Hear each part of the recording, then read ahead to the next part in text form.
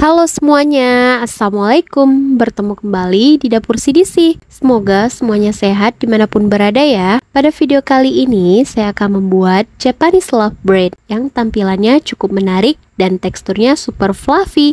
Yang kelembutannya bakal tahan lama untuk proses pembuatannya, kali ini saya akan mencoba menggunakan teknik tangzong. Untuk tahu cara pembuatannya, yuk nonton video ini hingga selesai ya. Sebelumnya, mari persiapkan bahan untuk pembuatan tangzongnya terlebih dahulu, yaitu 25 gram tepung protein tinggi dan 100 gram air.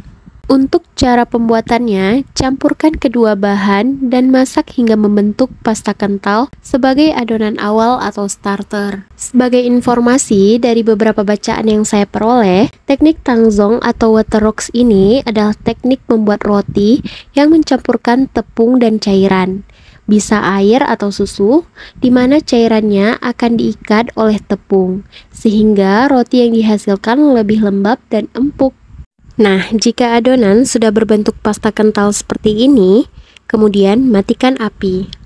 Kemudian, masukkan adonan ke wadah lain, lalu tutup dengan plastik wrap atau sejenisnya, dan tunggu hingga dingin.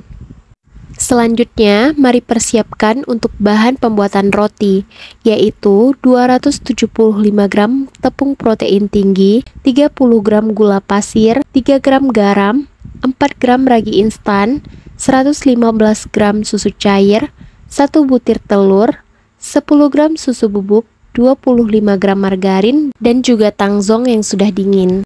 Untuk cara pembuatannya, siapkan wadah, masukkan bahan kering seperti tepung, ragi, gula pasir, dan juga susu bubuk. Lalu, aduk semua bahan hingga tercampur merata.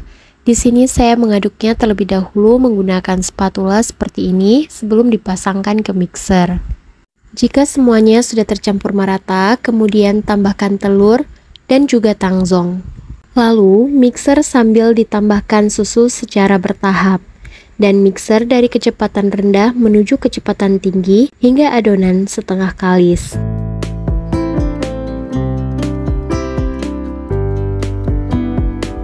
Jika adonan sudah setengah kalis, kemudian tambahkan margarin dan juga garam, lalu aduk kembali hingga adonan kalis. Di sini, karena adonan memiliki kelembaban tinggi, jadi saya tandai adonan sudah kalis jika adonan sudah kelihatan mulus. Kemudian matikan mixer dan angkat adonan dari wadah menuju alas kerja.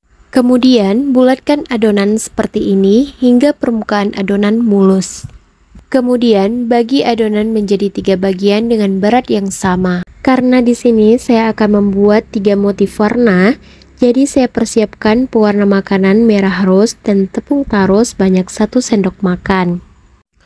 Untuk adonan yang pertama, warna dasar tidak diberi pewarna. Bulatkan adonan hingga permukaannya mulus, lalu masukkan ke wadah bersih, lalu tutup dengan kain serbet agar adonan tidak kering. Untuk adonan yang kedua, siapkan tepung taro, tambahkan sedikit air untuk membentuk pasta taro seperti ini, lalu campurkan dengan adonan roti dan aduk hingga warna tercampur merata dengan adonan. Jika adonan sudah tercampur merata, kemudian matikan mixer dan keluarkan adonan ke atas alas kerja, lalu bulatkan, dan kemudian masukkan ke dalam wadah bersih dan istirahatkan bersama dengan adonan sebelumnya. Untuk adonan yang ketiga, tambahkan 4 atau 5 tetes pewarna makanan berwarna merah rose atau sesuai selera bunda-bunda di rumah ya. Lalu aduk hingga warna tercampur merata. Jika sudah tercampur merata, kemudian matikan mixer dan keluarkan adonan ke atas alas kerja, lalu bulatkan dan istirahatkan bersama kedua adonan sebelumnya selama 30 menit dengan ditutup kain serbet. Setelah diistirahatkan selama 30 menit, untuk tekstur adonan sudah tidak terlalu lengket lagi ya bun. Selanjutnya menuju tahap berikutnya yaitu untuk membentuk adonan. Lakukan tindakan untuk adonan yang pertama.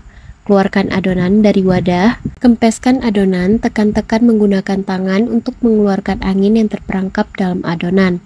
Lalu gilas berbentuk persegi panjang dengan ketebalan lebih kurang 2 atau 3 mm. Jika adonan yang pertama sudah selesai, selanjutnya menuju adonan yang kedua. Lakukan dengan cara yang sama hingga diperoleh hasil seperti adonan yang pertama. Kemudian, Letakkan adonan yang kedua di atas adonan yang pertama. Ratakan dan sesuaikan posisi dengan adonan yang pertama. Lakukan cara yang sama untuk adonan yang ketiga. Jika adonan yang ketiga telah selesai dibentuk, selanjutnya letakkan di atas adonan yang pertama dan kedua.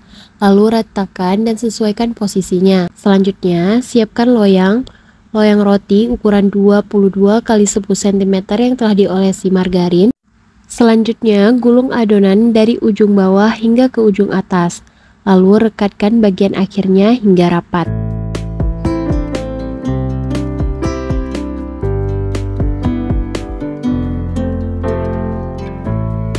Jika sudah dirapatkan bagian akhirnya, kemudian untuk adonannya dipotong memanjang ke bawah dari atas seperti ini. Kemudian letakkan bagian adonan menyilang seperti ini. Lakukan hingga ke ujung.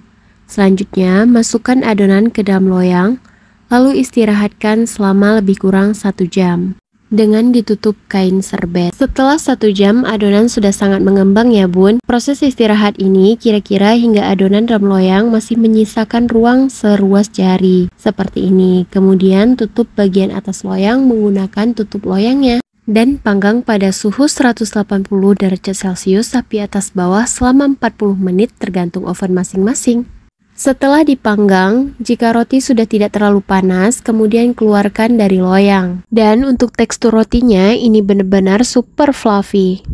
Selanjutnya, saya akan coba untuk memotong rotinya. Dan motifnya bergradiasi seperti ini ya bun, dari warna putih, ungu, dan merah rose. Motif dari roti ini sangat menarik ya bun, bagian dalamnya benar-benar cantik. Saya akan coba potong lagi dan rotinya langsung melewat. Tekstur rotinya benar-benar empuk. Ini cocok banget menjadi stok di rumah sebagai teman ngeteh. Bekal anak ke sekolah juga pasti bakal senang banget karena motifnya cantik. Selain itu, ini juga bisa menjadi ide usaha. Saya suka banget stok roti sendiri dengan tampilan yang menarik, jadi makannya makin happy. Selamat mencoba di rumah bunda-bunda. Semoga video ini bermanfaat. Terima kasih sudah menonton. Jangan lupa subscribe, like, comment, and share video ini ke teman dan kerabat bunda-bunda ya. Jikalau ada salah, mohon maaf. Sampai berjumpa di video berikutnya. Assalamualaikum.